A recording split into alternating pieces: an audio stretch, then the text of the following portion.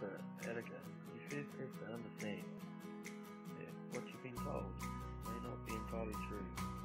And the medicine has been trying to present you with cures for years and years.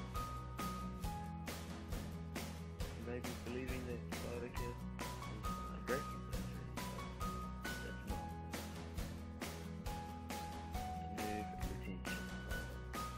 The chemical just make money for other people. Continue. To get rid of sciatica